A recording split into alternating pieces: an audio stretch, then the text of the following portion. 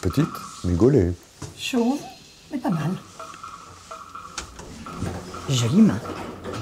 Joli sein. Arrête de sourire, il va te prendre pour une quiche. Pourquoi on se complique la vie? Ce serait tellement plus simple de dire vous me plaisez. On va baiser? Pourquoi il m'adresse pas la parole? Il attend que l'ascenseur tombe en panne. Oh non, merde, pas le coup de la panne. Oh non, merde, je suis claustro. Le bonheur, actuellement au théâtre Marigny.